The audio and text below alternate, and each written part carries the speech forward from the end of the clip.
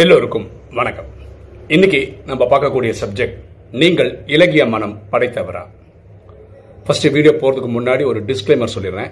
எங்கள் வீட்டுக்கு நேர் முன்னாடி இருக்கிற வீட்டில் இன்னைக்கு கிரக பிரவேசம் அதனால் காலங்காத்தாலே அவங்க வந்து ஒரு அஞ்சு மணிலேருந்து இந்த மிருதங்கம் நாதஸ்வரம் அப்படிலாம் வாசிக்க ஆரம்பிச்சிட்டாங்க. நான் ரெக்கார்ட் பண்ணுற டைமில் ரெக்கார்ட் பண்ண முடியல. அதனால் நைன் ஃபார்ட்டி ஃபைவ் ஏஎம் அப்போ ரெக்கார்ட் பண்ணுறேன் இப்போ என்ன பிரச்சனை இருக்குன்னா ரோட்டில் வர வண்டி ஹார்ன் சவுண்டெல்லாம் இருக்கும். இன்றைக்கி ஒரு நாள் அட்ஜஸ்ட் பண்ணிக்கோங்க. ஓகே இன்றைக்கி சப்ஜெக்ட் போகிறதுக்கு முன்னாடி நான் கொஞ்ச நாளுக்கு முன்னாடி ஒரு வீடியோ போட்டிருந்தேன். அதாவது ஒரு சகோதரி வந்து வெளிநாட்டில் இருக்காங்க. அவங்க வந்து எல்டிடி ப்ராப்ளம் ஆன பிறகு ஊர் ஃபுல்லாக உலகம் ஃபுல்லாக ஆளுங்க போன மாதிரி இவங்க வந்து வெளிநாட்டில் யூரோப்பில் ஒரு நாட்டில் போய் சேர்ந்துட்டாங்க.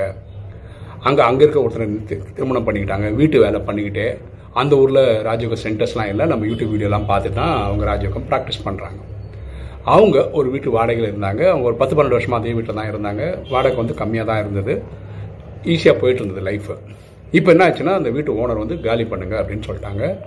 இப்போ அந்த ஊரில் வேறு ஏதாவது வீட்டுக்கு போனால் நிறைய காசு கொடுக்க வேண்டியிருக்கும். ரொம்ப கஷ்டமாக இருக்கும். அப்போது அவங்க வீட்டு ஓனர் வந்து இவங்க மேலே ஒரு வக்கீல் நோட்டீஸ் அனுப்பிச்சிட்டாங்க இவங்களுக்கு. ஸோ இவங்க பேனிக் ஆகிட்டாங்க அப்போ என்ன கூப்பிட்டுருந்தாங்க. இன்டர்நேஷ்னல் வக்கீல் யாராவது கிடைப்பாங்களான்னு கேட்டிருந்தாங்க. அதை நான் வீடியோவில் சொல்லியிருந்தேன். அது உங்களுக்கும் தெரியும். அது விஷயமா நான் வேற ஒரு சகோதரி கிட்ட பேசிட்டு இருந்தேன். அவங்களும் வெளிநாட்டில் தான் இருக்காங்க வேற ஒரு நாட்டில் இருக்காங்க. அப்போ அவங்ககிட்ட பேசும்போது அவங்க சொன்னாங்க ஏற்கனவே இவங்களெல்லாம் தொடர்பு பண்ணி விட்டேன் நான் முன்னாடியே. அப்போ அவங்க பேசியிருக்காங்க. அதில் என்னென்னா அந்த ஊரில் ரெட் கிராஸ்னு ஒரு சொசைட்டி எல்லா ஊர்லேயும் இருக்குது அதே மாதிரி அந்த கண்ட்ரிலையும் இருக்குது இப்போ இவங்க என்ன சொல்லுவாங்க இந்த ரெட் கிராஸில் போய் உங்கள் பிரச்சனையை சொல்லுங்கள் அவங்க வந்து உங்களுக்காக அந்த வீட்டு ஓனர்ஸ் கிட்ட பேசுவாங்க. அப்புறம் வந்து இதே வாடகையில் உங்களை கண்டினியூ பண்ணுறதுக்கு ஹெல்ப் பண்ணுவாங்க. அதாவது நீங்கள் அவங்களுக்கு லீகல் ஃபீஸ்லாம் கொடுக்க தேவையில்ல. அவங்க வந்து சர்வீஸாக பண்ணுவாங்க. ஒரு வேலை எக்ஸாம்பிள் பேசுவோமே இவங்க வாடகை வந்து ஒரு ஐயாயிரம் ரூபா கொடுத்துட்டு இருக்காங்கன்னு வச்சுக்கோங்களேன். இப்போ வீட்டு ஓனர் வந்து ஆறாயிரம் கூட ஏழாயிரம் கூடன்னு கேட்குறாங்கன்னு வச்சுக்கோங்களேன் ஏன்னா பத்து வருஷமாக இருந்திருக்காங்க இப்போ தான் கூட்டுறாங்கன்னு வச்சுக்கோங்க ஃபஸ்ட் டைம் அந்த எக்ஸ்ட்ரா ஆயிரம் ரெண்டாயிரம் கட்ட முடியலன்றதான் இவங்க பிரச்சனை. அதை வந்து இந்த ஹெல்ப் பண்ணுறாங்களே அந்த ரெட் கிராஸ்னால் ஹெல்ப் பண்ணுவாங்க அப்படின்ற ஐடியாலாம் கொடுத்துருக்காங்க. இது இல்லாமல் இந்த சகோதரி வந்து அவங்களுக்கு அவங்க ஊரில் வேலைக்கு ட்ரையும் பண்ணிட்டு இருக்காங்க. ஸோ நல்ல விஷயங்கள் நடந்துட்டுருக்கு ஓகே இன்னைக்கு வீடியோ என்ன? என்ன வீடியோ இலக்கிய மனம் படைத்தவரா? இப்போ நான் ஒரு சகோதரி இப்போ பேசிட்டு இருக்கேன்னு சொன்னேன் இல்லையா? இவங்களுக்கு ஹெல்ப் பண்ணுங்க அவங்க வந்து அப்படிப்பட்ட ஆத்மா இலக்கிய மனசு. இந்த ஆத்மாவை எனக்கு எப்படி தெரியும்? அப்படின்னு பார்த்தீங்கன்னா இவங்களும் என் வீடியோலாம் பார்க்குறாங்க ஒரு நாள் எனக்கு ஃபோன் பண்ணி நான் சொல்கிறது ரெண்டு மூணு வருஷத்துக்கு முன்னாடி உள்ள கதை. ஃபோன் பண்ணிட்டு பிரதர் நான் வந்து உங்கள் வீடியோ நான் ரெகுலராக பார்க்குறேன் உங்கள் குழந்தைங்களுக்கு ஃபீஸ் கட்டுறது நீங்கள் கஷ்டப்படுறதான் தெரியும். அவங்க என்ன பண்ணுறாங்கன்னா ஸ்ரீலங்காவில் இருக்க குழந்தைங்களுக்கு ஸ்கூலில் நிறைய குழந்தைங்களுக்கு ஃபீஸ் கட்டுறாங்க. நான் வந்து உங்கள் குழந்தைங்களுக்கு ஃபீஸ் கட்டட்டுமா? அப்படின்னு கேட்டாங்க. அப்படி அந்த வருஷத்துலேருந்து என் குழந்தைங்களுக்கு அவங்களுக்கு எப்போல்லாம் முடியுமோ ஹெல்ப் பண்ணியிருக்காங்க ஃபீஸ் கட்டுறதுக்கு. போன வருஷம் அவங்க வந்து அவங்க வேலை பண்ணுற இடத்துலேருந்து ரிட்டையர் ஆகிட்டாங்க அதனால் என்னால் அது முடியாது அப்படின்னு சொல்லிட்டாங்க. இப்படி எனக்கு அவங்களுக்கு தெரியும். அதாவது அவங்களா வாலண்டியராக வந்து எனக்கு உதவி இருக்காங்க. இவங்க எப்படின்னா ரொம்ப இலக்கண மனசு ரொம்ப இலக்கண மனசுனா யாராரோ எப்படி எப்படியோ இவங்க நம்பரை வாங்கிக்க வேண்டியது அவங்களுக்கு ஃபோன் பண்ண வேண்டியது நான் இந்த மாதிரி கஷ்டத்தில் இருக்க வேண்டியதுன்னு சொல்ல வேண்டியது உடனே இவங்க வந்து எப்படி எப்படியோ பணத்தெல்லாம் புரட்டி அவங்கள கொடுத்து காப்பாற்றிடுவாங்க இந்த உதவி பண்ணிட்டு இருந்தாங்க. இவங்க ஸ்ரீலங்காவில் நிறைய சேவை ப்ராஜெக்ட் பண்ணுறாங்க அதில் ஒரு ஸ்கூல் திறக்கிறதுக்காக போன வருஷம் வந்திருக்காங்க. இவங்களும் கணவர்லாம் வந்திருக்காங்க. அதுக்கு தலைமை தாங்கிறதுக்குன்னு சொல்லிட்டு வேற யாரோ டீம் வந்திருக்காங்க. ஒரு லேடி வந்திருக்காங்க. அவங்க இவங்க நம்பரை வாங்கியிருக்காங்க. அதுக்கப்புறம் இவங்க கூப்பிட்டுருக்காங்க. இவங்க இந்தியாவில் மதுபனுக்கெல்லாம் போயிட்டு வந்திருக்காங்க. அதனால் அவங்க ஊரில் இருக்கிற ஃபோன் அடிச்சுக்கிட்டே இருந்திருக்கு. இவங்க கவனிக்கவே இல்லை. இவங்க ஊருக்கு போனோன்னா ஒரு நாள் ரிங்காவது எடுக்கும்போது இவங்க பேசியிருக்காங்க. பேசும்போது என்ன சொன்னால் இவங்க ஒரு என்ஜிஓ நடத்துகிறாங்க ஏன்னா இவங்க வெளியிலேருந்து வந்தவங்க. நாங்கள் ஒரு என்ஜிஓ நடத்துகிறோம் அதுக்கு ஒரு இடம் வாங்கணும். அதில் இந்த ப்ராஜெக்ட் பண்ணணும். அதுக்கு இத்தனை லட்ச ரூபா காசு தேவை அப்படிலாம் சொல்லி பேசியிருக்காங்க. உடனே இவங்க என்ன பண்ணியிருக்காங்கன்னா இவங்களுக்கு ஒரு இடம் இருந்திருக்கு. அந்த இடத்த விற்று இவங்க சொன்ன வேறு இடத்துல ஒரு இடம் வாங்கியிருக்காங்க. இவங்களே இவங்க சொந்த காசு ஒரு ஆறு ஏழு லட்சத்துக்கு ஒரு இடத்த வாங்கிட்டாங்க. அந்த ப்ராஜெக்ட்டுக்கான காசு வந்து ஒரு இருபது இருபத்தஞ்சு லட்ச ரூபா காசுன்னு வச்சுக்கோங்களேன். நான் எல்லாம் ஒரு குத்துமதிப்பான அமௌண்ட்டு தான் சொல்கிறேன் ஏன்னா அது நமக்கு இஷ்யூ இல்லை. இவங்க என்ன பண்ணாங்கன்னா இவங்க இதே மாதிரி ஜெர்மனியில் நிறைய ஃபிலாந்திரபிஸ்ட் இருக்காங்களே அந்த பைசா தர டொனேஷன் கொடுக்குற அவங்கள நிறைய பேர் தெரியுன்றதுனால ஒரு டாக்டர் ஒருத்தர்கிட்ட கேட்டோன்னா அவர் ஒரு இருபத்தஞ்சு லட்ச ரூபா ஸ்ட்ரெயிட்டாக அவங்களோட அக்கௌண்ட்டுக்கு போட்டுட்டாரு. யாருக்கு? கேட்டவங்களுக்கு.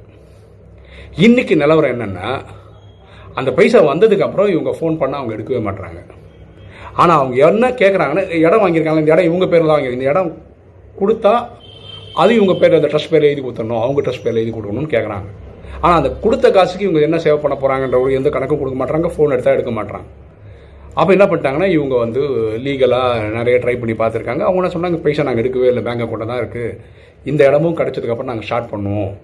அதாவது இவங்க பேசுகிறதெல்லாம் ரொம்ப ஃபிஷ்ஷியாக இருக்குது இந்த சகோதரிக்கு என்னென்னா நம்ம ஒரு சேவைன்னு சொல்லி ஒருத்தரை கோத்து விட்டு அவர் இருபத்தஞ்சு லட்சம் ரூபா லாஸ் ஆயிடுச்சு. அதுக்கு நான் தான் காரணம் அப்படின்னு ஃபீல் பண்ணுறாங்க ஒரு குற்ற உணர்வு இவங்களுக்கு வந்துடுச்சு அவங்கக்கிட்ட அந்த டாக்டர் கிட்டாரோ அந்த டாக்டர் வந்து பல வருஷமாக தெரியும் உங்களுக்கு. அவர் நிறைய ப்ராஜெக்டில் கொடுத்துருக்காரு அவருக்கு ரொம்ப சந்தோஷம் பண்ணியிருக்காரு. நான் சம்பாதிச்ச அந்த இருபது இருபத்தஞ்சு லட்சம் உங்களுக்கு தந்துடுறேன் அப்படின்னு இவங்க சொல்கிறாங்க அவங்க சொல்ல அந்த பைசா எங்கேயும் போகல. அந்த அக்கௌண்ட்டில் தான் இருக்குது பேசுகிற விதத்தில் பேசி லீகலாக அதை ஃபைட் பண்ணி வாங்கிடலாம் வாங்கிடலாம். அதாவது அவங்க இப்போ கூட உங்களுக்கு தெரியாது என்னன்னா அவங்க ஏமாத்துற ஆளுங்க இல்லை சின்சியராக பண்ணுறவங்களான்னு தெரியல உங்களுக்கு அந்த போராட்டத்தில் இருக்காங்க. இப்போ என்ன ஆயிடுச்சுன்னா இவங்களுக்கு இனி ஒரு சேவை எடுத்து பண்ணுற மனப்பான்மையே போயிடுச்சு. எல்லாரும் ஃப்ராடாக இருப்பாங்களோ எல்லாம் ஏமாற்றுவாங்களோ அந்த டாக்டர் சொல்லியிருக்காரு நீங்கள் இதை பற்றி கவலைப்படாதீங்க. அது தானாக வரும். நம்ம வேற ஒரு ப்ராஜெக்டாக எடுத்து பண்ணிட்டு இருப்போம். நல்லது பண்ணுறது தான் நம்மளோட நோக்கம். அதுக்கு தான் நம்மகிட்ட இறைவன் வந்து அந்த சக்தியை கொடுத்துருக்கிறாரு. அதை நம்ம பண்ணணும்னு அந்த டாக்டர் சொல்கிறார் அப்போ என்கிட்ட பேசும்போது நான் நானும் சொன்னேன் அம்மா பாருங்கள் நான் ஏழு வருஷமாக யூடியூப்பில் இருக்கேன். ஓகேவா அப்போ யூடியூப் கமெண்ட்ஸில் எல்லாரும் ஒரே மாதிரி பாசிட்டிவாக போடணும்னு அவசியம் இல்லை. திட்டி திட்டி கூட போடுவாங்க கரெக்டாக ஏன்னா பக்தி பண்ணவங்களுக்கு வந்து இப்போ ராஜயோகம் கொடுக்கக்கூடிய ஞானம் வந்து புதுசாக இருக்கும். டோட்டலாக டிஃப்ரெண்ட்டாக இருக்கும். சில கோவம் கூட வரும்.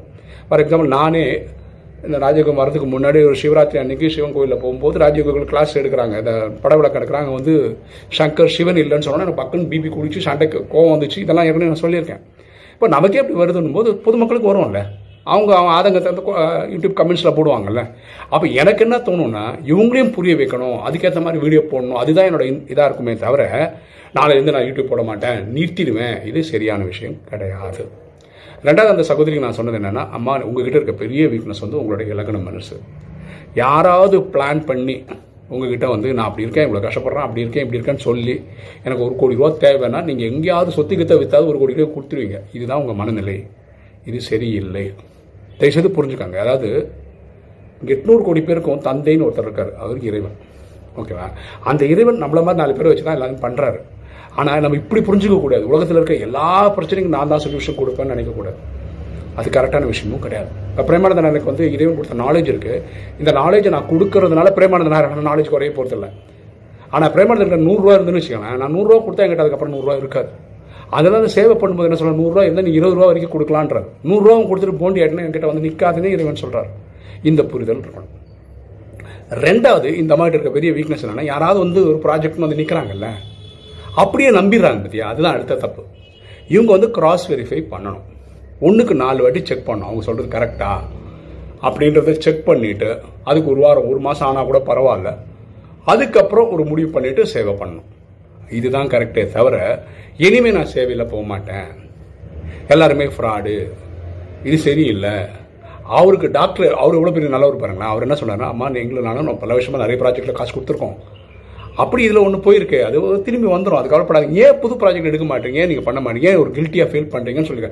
இவ்வளோ நாள் இவங்க பண்ண இந்த தர்மம் அவங்களை காப்பாற்றிருக்கு இல்லைனா இந்த இருபத்தஞ்சு லட்சம் நீ தான் கொடுக்கணும்னு அவர் கலாட்டாக பண்ண ஆரம்பிச்சான்னு வச்சுக்கலாம் ஆக்சுவலாக இவ்வளோ இவ்வளோ கொடுக்கல. டேரெக்டாக அந்த அக்கௌண்ட் தான் போட்டிருக்காரு. ஆனால் அவர் பெரிய மனுஷன் ப்ரூவ் பண்ணுறாரு அது இவங்க தர்மம் அவங்களை காப்பாற்றிருக்கு புரியுங்களா ஸோ நம்ம சேவை பண்ணும்போது நேற்று வானிலை கூட பரமாத்மா சொல்கிறார் புகழ்ச்சி இகழ்ச்சி இது ரெண்டுமே நம்மளை பாதிக்கவே கூடாது. அப்போ நியூட்ரலாக இருக்கும். ஓகே மக்கள் அவுட் சைடு அப்படி தான் பேசுவாங்க. நமக்கு தெரியும் இது எப்படி எவ்வளோ பேருக்கு யூஸ்ஃபுல்லாக இருக்குது அப்படின்னு தெரியும். சரியா? அப்போது இலக்கண மனசு இருக்கிறவங்க என்ன பண்ணணும்னா எல்லாருக்கும் நம்மளே சொல்யூஷன் கொடுக்க முடியாதுன்னு தெரிஞ்சுக்கணும். எல்லாருக்கும் இறைவன் ஒருத்தர் இருக்கார் அவர் பார்த்துக்கிறாருன்னு தெரிஞ்சுக்கணும். ரெண்டாவது இந்த மாதிரி எதாவது கேட்கும்போது கிராஸ் வெரிஃபை பண்ணணும். அதுக்கப்புறம் தான் சேவை பண்ணணும். அதனால் சேவையிலேருந்து பின்வாங்க கூடாது. இது ரெண்டு தனிப்பட்ட கருத்து. இப்போ வீடியோ பார்க்குற நீங்கள் இந்த சகோதரிக்கு என்ன ஐடியாஸ் கொடுப்பீங்கன்றத கமெண்ட் செக்ஷனில் போட்டிங்கன்னா நல்லாயிருக்கும். ஓகே இன்னைக்கு வீடியோ உங்களுக்கு பிடிச்சிருக்கோம் நினைக்கிறேன். பிடிச்சா லைக் பண்ணுங்கள் சப்ஸ்கிரைப் பண்ணுங்கள் ஃப்ரெண்ட்ஸ் சொல்லுங்கள் ஷேர் பண்ணுங்கள் கமெண்ட்ஸ் போடுங்க. தேங்க்யூ